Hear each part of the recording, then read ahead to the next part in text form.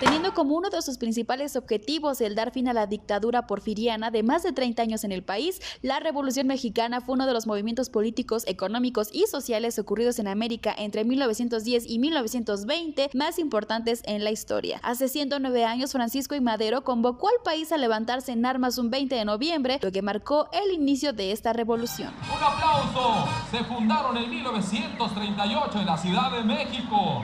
Pero ¿por qué luchaban en la Revolución Mexicana? Bueno, buscaban sobre todo garantizar derechos usurpados de la población, pero principalmente el regreso de las tierras expropiadas por el gobierno a los campesinos e indígenas. Cabe mencionar que como toda acción tiene una consecuencia, este gran movimiento dejó al menos 3.4 millones de vidas afectadas, aunque no se cuenta con una cifra exacta del número de fallecidos. Asimismo, la migración urbana, pues huyendo del desorden y la violencia en el campo, la población campesina migró a las ciudades, incrementando así el nivel de vida de las ciudades, pero casi ocasionando en ellas una desigualdad social y profunda. Y uno de los cambios más significativos de la Revolución Mexicana fue la reforma agraria que permitió a los campesinos poseer tierras y creó una nueva clase de ejidatarios. Y aunque no mejoró demasiado su calidad de vida, eran mejor retribuidos. Y aquí está cerrando este gran desfile con el personaje de Pancho Villa sin duda un suceso histórico muy importante, por lo cual en Querétaro no podría no llevarse a cabo el desfile cívico deportivo para conmemorar aquel evento histórico que marcó el rumbo de la política, economía y sociedad de nuestro país. Con la participación de diferentes corporaciones, escuelas e instancias se llevó a cabo este gran desfile, del cual muchas familias queretanas fueron testigos. Con imágenes de Mariela Mendoza informó para Mega Noticias Querétaro Telma Herrera.